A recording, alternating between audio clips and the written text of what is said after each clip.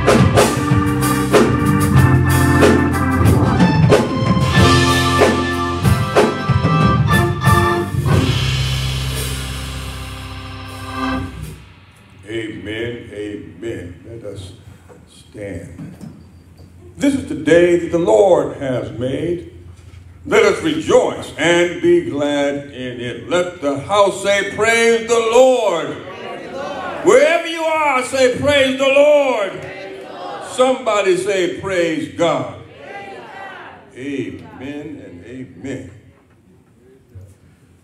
Hallelujah. Aren't you glad to be here today?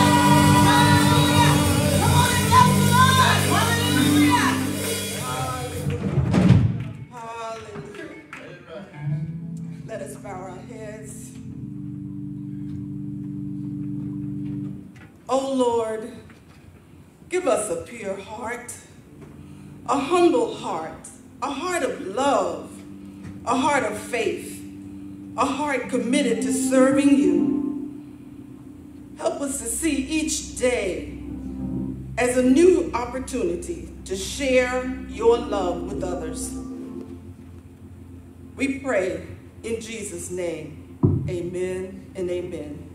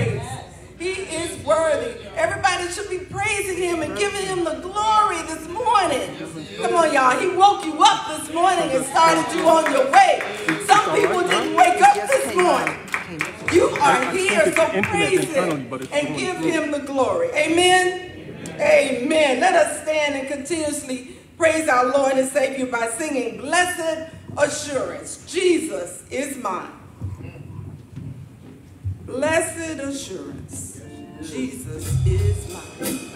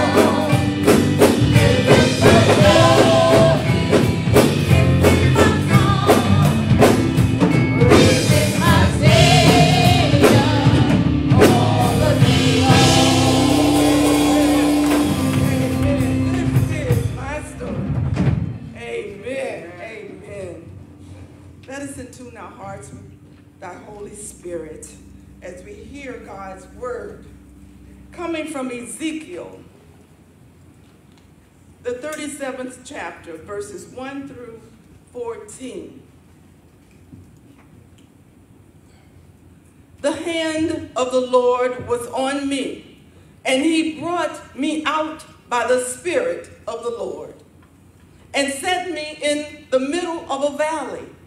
It was full of bones. He led me back and forth among them, and I saw a great many bones on the floor of the valley, bones that were very dry.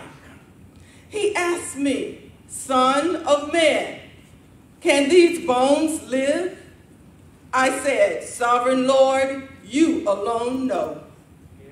Then he said to me, Prophesy to these bones and say to them, Dry bones, hear the word of the Lord. This is what the sovereign Lord says to these bones I will make breath enter you, and you will come to life. I will attach tendons to you and make flesh come upon you and cover you with skin. I will put breath in you and you will come to life. Then you will know that I am the Lord. So I prophesied as I was commanded, and as I was prophesying, there was a noise, a rattling sound, and the bones came together, bone to bone. I looked, and the tendons and flesh appeared on them, and skin covered them. But there was no breath in them. Then he said to me, Prophesy to the breath, prophesy, Son of Man, and say to it, This is what the sovereign Lord says Come, breath from the four winds, and breathe into these slain, that they may live. So I prophesied as he commanded me, and breath entered them. They came to life and stood up on their feet, a vast army. Then he said to me, Son of man, these bones are the people of Israel. They say, Our bones are dried up, and our hope is gone. We are cut off. Therefore prophesy and say to them, This is what the sovereign Lord says My people, I am going to open your graves and bring you up from them. I will bring you back to the land of Israel. Then you, my people, will know that I am the Lord when I open your graves and bring you up from them. I will put my spirit in you, and you will live, and I will settle you in your own land. Then you will know that I, the Lord, have spoken, and I have done it, declares the Lord. We thank you, Lord, for your word. God bless his word and the hearers of his word.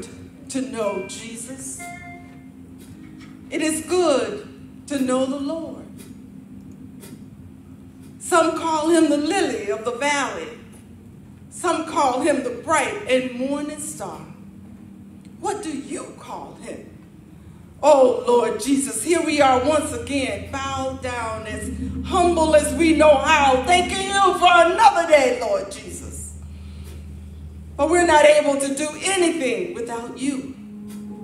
Forgive us, O God, of our sins, words, thoughts, and deeds by commission and omission. Here we are at the foot of the cross, O God, once again gathered together as one, O God, thanking you for a brand new day that we have never seen. A brand new season of springtime, oh God. We thank you. We thank you, Lord, for bringing us all here to church this morning to worship you. We thank you, Father, for keeping us all safely through the night. For you, oh God, has put breath in us to wake up this morning. You saw fit for us to come and worship you. So, Lord, let us worship you in truth and in spirit. Touch every heart, oh God. Breathe on each person, oh God. For, oh God, those that may be sick, we pray that you will touch in a mighty way. Those that may be mentally ill, oh God. Those that may be depressed. Those that may be in anxiety, oh God. We pray that you will touch in a mighty way. Those that have trouble in the homes, oh God, we pray you will touch. Those that are not saved, oh God, we pray you will touch. For, oh God, you are able, and we want them to be saved, oh God, before it's too late. Oh God, we thank you for everything that you have done for us. Add a special blessing, oh God, upon our church family here, oh God, today. Add a special blessing upon the minister, oh God, who will bring the word. Bless Reverend Clayton. Continue to strengthen him, guide him, and direct him, oh God. Give him the wisdom, oh God, that is needed to continue to lead the flock. As he teaches and preaches your word, oh God, give him the strength that he needs, oh God. Touch all the officers, oh God. Bless them in a mighty way. Help them to continue to serve your people, oh God, with a smile on their face. Bless all the ministries, oh God.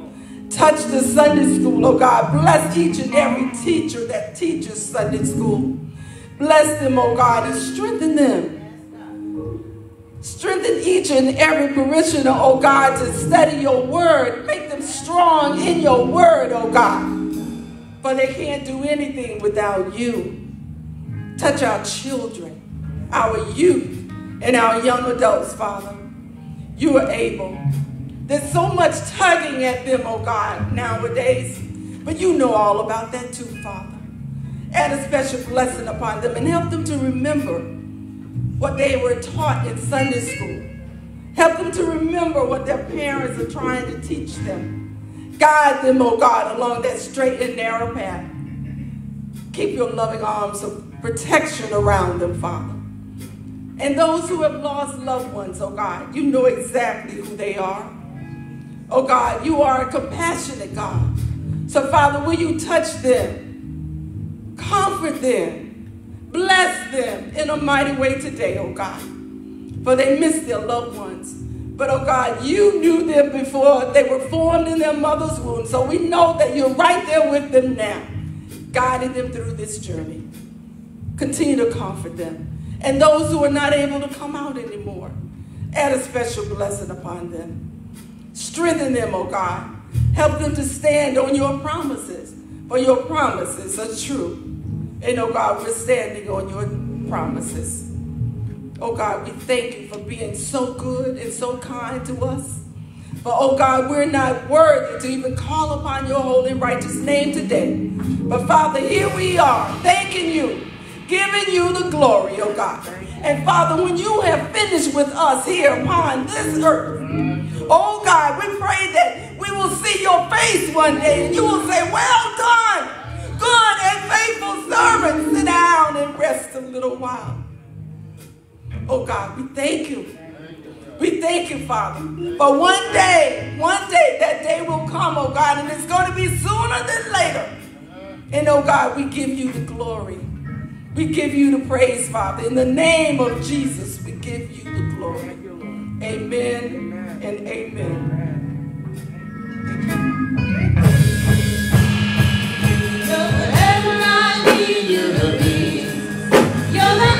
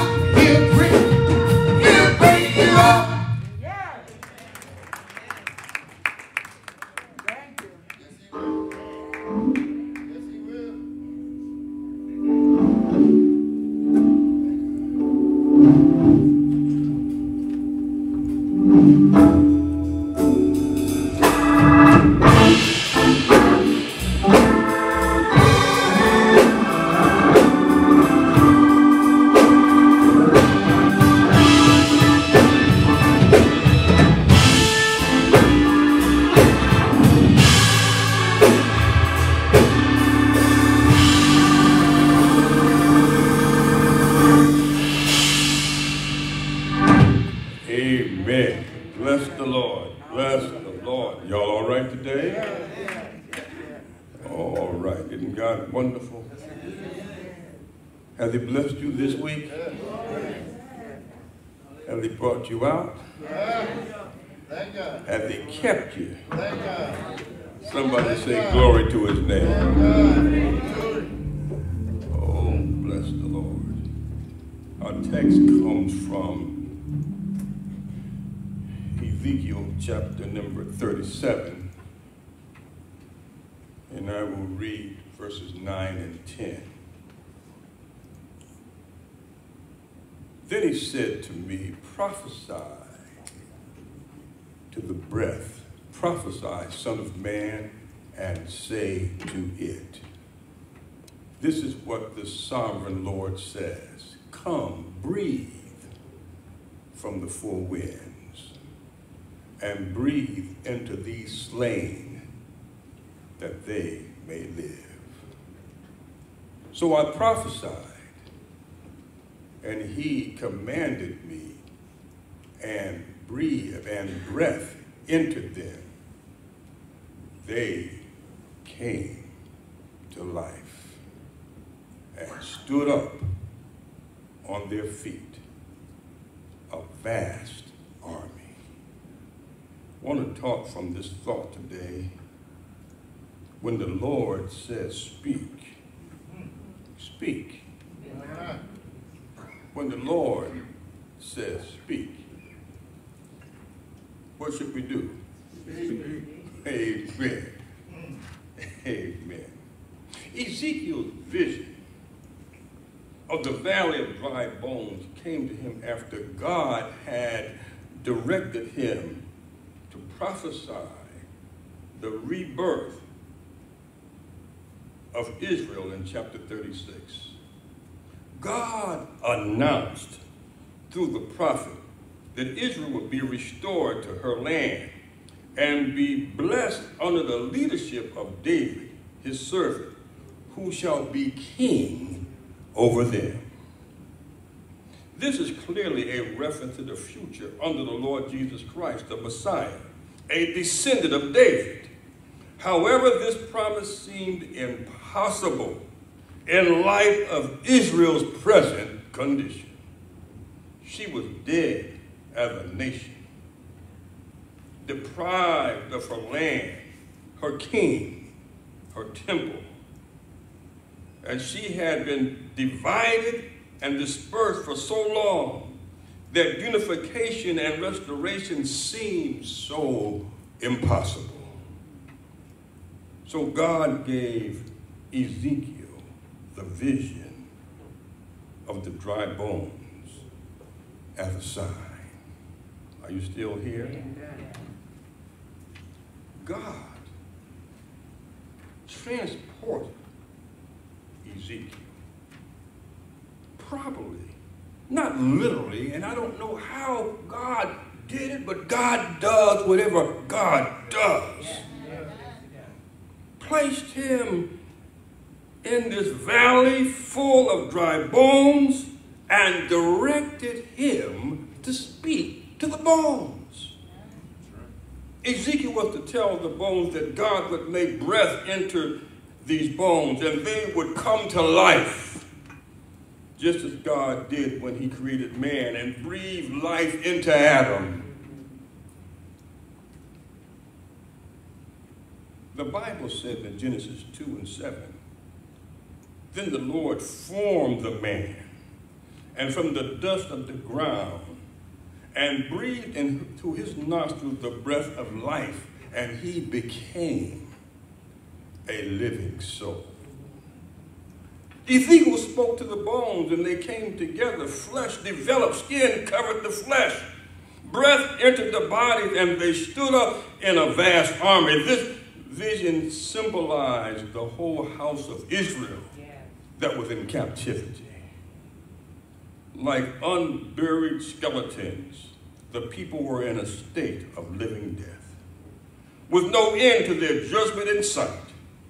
They thought their hope was gone, and they were cut off forever. The surviving Israelites felt their normal hopes had been dashed, and the nation had died in the flames of Babylon's attack with no hope of a resurrection. The reviving of the dry bones signified God's plan for Israel's future national restoration. The vision also, and most importantly, showed that Israel's new life depended on God's power and not the circumstances of people. Putting breath by God's Spirit into the bones showed God would not only restore them physically, but He would also restore them spiritually. The Israelites residing in the Holy Land today are not the fulfillment of this prophecy. It will be fulfilled when God regathers believing Israelites to the land and Christ returns to us to us, reestablish his kingdom. Listen, we are living in a dark time. The Bible says in Timothy chapter 4, verse number 1, and now the Spirit speaketh expressly that in the last times some shall depart from the faith, giving heed to seducing spirit and to the doctrine of devils. 2 Timothy chapter 3, beginning at verse 1 says, This know also that in the last days perilous times shall come. Are we living in some strange and difficult times now? For men shall be lovers of their own selves. Some will be covetous, some will be boasters, proud, blasphemers. Children will be disobedient to parents. So many are unthankful and unholy without natural affections. Is it going on? Truth breakers and false accusers. People just tell a lie just to tell a lie. The bigger the lie, the bigger the crowd. The bigger the lie, the more money you can receive. In content fear, and they despisers of those that are good. Y'all don't hear me this morning. Oh, glory to his name. The traitors, heady, high-minded, lovers of pleasure more than lovers of God. We're, we're spending so much time doing other things. Three hours to watch a football game. I don't have a problem with it. You, you, you got four hours sometime for a baseball game. Stay all night in the club. It won't give God an hour on Sunday morning. Lovers of pleasure more than lovers of God. They have a form of godliness, but they deny the power thereof. We are seeing this video live before our eyes today. Families are in crisis. Mothers are against mothers. Fathers are and, sons can't seem to get along. Even grandparents can't do anything with these out of control kids. Schools are in trouble. At least 550 children, educators, and school staff have been victims of school shootings since Columbine. During that period, 311,000 children have been exposed to gun violence. And less than 20 miles from where I'm standing this morning, there were 26 people killed in Sandy Hook Elementary. Most of those were six and seven year old students. It's a dark day, and there are as dead. Some politicians have lost their mind. Some have been arrested and spent time behind bars. We know one is waiting to be indicted. It's a dark time. There is racial unrest. Russia has invaded Ukraine. And somehow I hear the Spirit speak to this dead world. It's like the vision of the valley of dry bones. He says, Speak! Speak! Some churches are dry and dead. He says, Speak! Speak to the bones. They are dry and they are scattered. They're dry and they're scattered. He says, Speak to the deadness. Speak to these bones that have been dry a long time. I hear the prophet speaking. I hear preachers today speaking to the deadness of the world. We are similar to these bones in the valley. We've been there, we've been here a long time, and we're dry. I heard the prophet say, Go on, speak to the bones. Tell the bones to come together. When the prophet made this plea, there was a great noise. The bones started rattling because they were scattered all over the place. When things come together that are apart like that, there's a great remember the old Negro hymn. He said, and the foot bone got connected to the leg bone. The leg bone got connected to the knee bone. The knee bone got connected to the thigh bone, and the thigh bone got connected to the backbone, and the backbone got connected to the neck bone, and the neck bone got connected to the head bone. Oh, hear the word from the Lord. Speak to them bones. Speak to the deadness of this world. Speak, prophet, speak.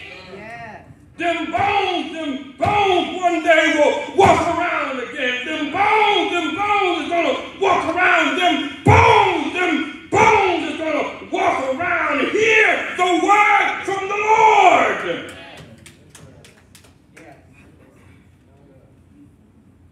Then the head bone was connected to the neck bone.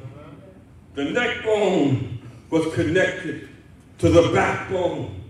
The backbone was connected to the thigh bone, and the thigh bone was connected to the knee bone, and the knee bone was connected to the leg bone, and the leg bone was connected to the foot bone. Oh, hear the words of the Lord. The bones are now connected. I said the bones are now connected. But then, but then, but then, all of a sudden, flesh began to come on those bones. Then skin appeared on the bones, and the bodies became together. They're all intact. Everything looks good. Sometimes neighborhoods look good. Sometimes the political effort looks good. Sometimes the churches look good. Sometimes from the outside, families look good. But there's no breath in them. Everything looks good, but they're dead. Somebody say they're dead. There's no spirit in them. There's no life in them. So the prophet prophesied to the four winds, hey, wind from the north, come on down. Wind from the south, wind from the east, wind from the west. And the four winds came and entered those dead bodies. And they came alive. What is he saying to us? Speak to the dead situations in your lives. God is speaking to us. And if God is telling you to speak, speak. Speak to your children. Speak. Speak to every child. As they go from place to place, speak. Before they leave to go to school in the morning, speak. To them when you're, when you're in your car, speak. Have a conversation with your politicians. Right now in our Matthew, we're sending letters to congressmen. Speak! Speak! Speak to this dead world. God is telling us to speak. We're seeing something, but we're not seeing anything. Speak to this crazy world by the Spirit and by the Word of God. And all of a sudden, not only will it come together and look good, but it will be full of life. Glory to God. Ah, I can see it now. I can see it. I can see little children filling the Sunday school rooms. I can see mothers and fathers coming and worshiping and blessing God together all over this world. I can see policemen and firemen caring for the community. I can see the politician acting right. I can see it, but somebody got to speak. Speak. And if you're speaking under the power of God, watch it happen. Somebody say, Glory to God. Glory to God. I thank God. I thank God for his mighty power and for his grace. My brothers and sisters, just don't look at the situation. Don't just talk about the situation.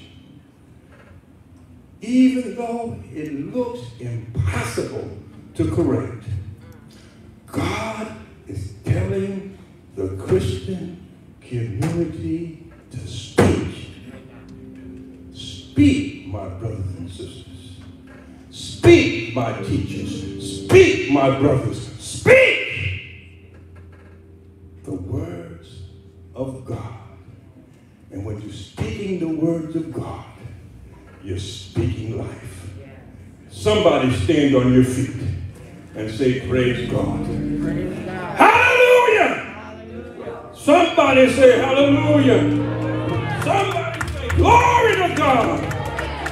Speak to the deadness, the things that have been destroyed in your life. Speak.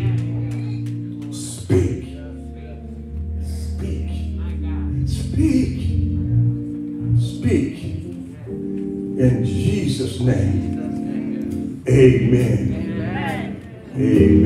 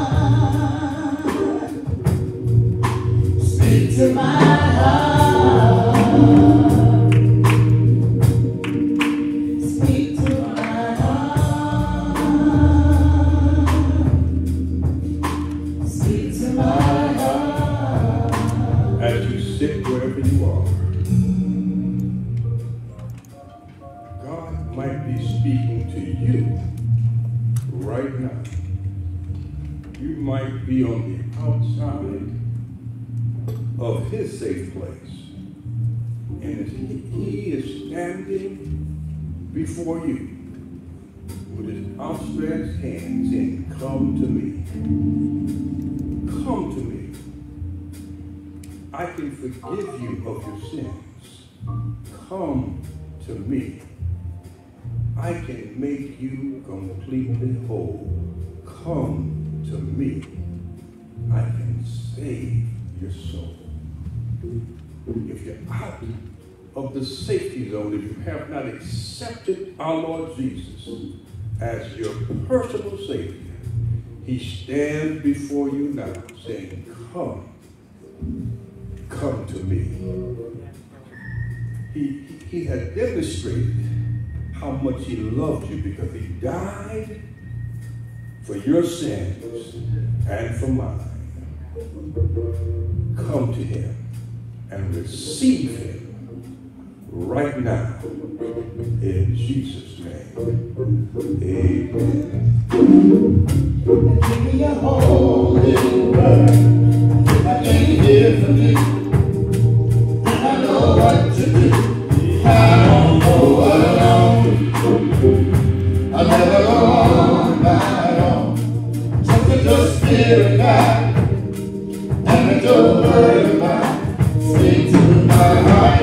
um, um, um.